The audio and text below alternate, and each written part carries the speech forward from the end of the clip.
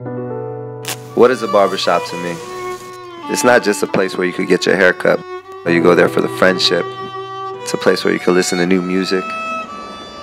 You have fun, you watch sports, talk about the news. Or you might want to share a happy experience. You laugh, you cry. Barbershop is full of life, full of different characters, different people in and out. A barbershop, it's a way of life. It's a culture.